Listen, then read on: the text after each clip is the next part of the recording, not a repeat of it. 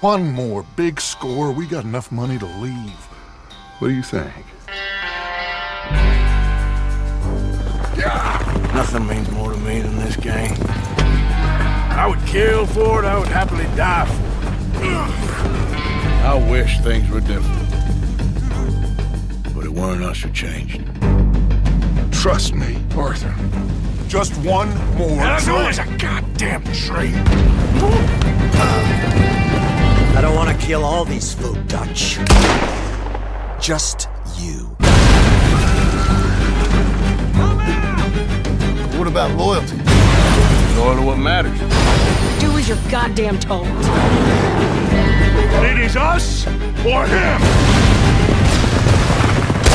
Red Dead Redemption 2, coming October 26th, rated M for mature.